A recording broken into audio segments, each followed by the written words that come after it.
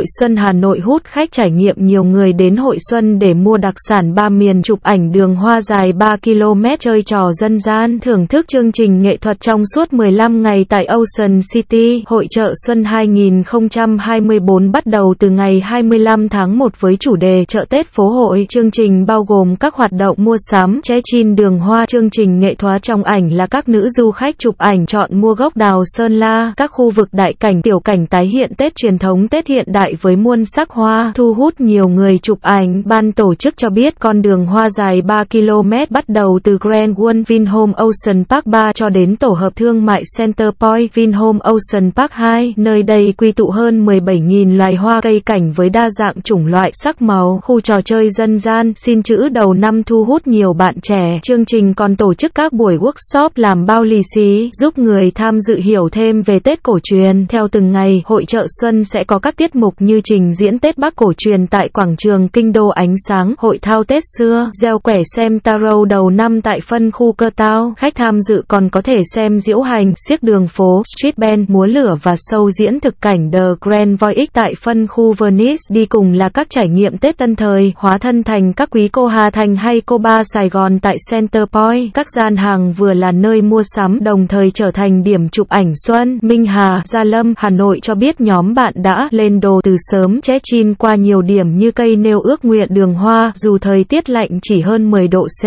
Cô cho biết đại cách thiết kế với đủ chủ đề, từ cổ truyền đến tân thời, ta ọ những bộ ảnh bắt mát, dãy hàng sản vật ba miền Bắc Trung Nam là nơi du khách có thể tìm thấy các món ngon từ nhiều vùng miền như ô mai mứt Tết Hà Nội, yến xào Khánh Hòa, chả bò Đà Nẵng, bánh pía Sóc Trăng, cơm cháy thành phố Hồ Chí Minh. Các gian hàng còn trưng bày sản phẩm cao cấp nhập từ châu Á cho đến châu Âu. Món đặc trưng ngày Tết cũng được nhiều người chọn mua như măng miến, cá kho vũ đại, cốm làng vòng, thịt gác bếp Tây Bắc trái cây. Chị Giang Đỗ, Long Biên cho biết hội chợ tuy đông người mua sắm nhưng không phải chen lấn, xô đẩy xếp hàng. Gia đình chị vừa đi chơi du xuân chụp ảnh, vừa sắm đặc sản Việt. Chị cũng mua một cây đào cổ Sơn La để trưng Tết. Ban tổ chức cho biết để đến hội chợ xuân 2024, du khách có thể di chuyển bằng tuyến đường cao tốc Hà Nội Hải Phòng, quốc lộ 5 hoặc Vinbus với các tuyến xe hoạt động từ 6 giờ đến 22 giờ tần suất từ 15 đến 20 phút mỗi chuyến. Sau 3 ngày diễn ra, chương trình đón hàng nghìn lượt khách. Ước tính hội trợ xuân 2024 sẽ trở thành điểm che chin mua sắm của hàng triệu lượt người trong suốt 2 tuần tại Ocean City.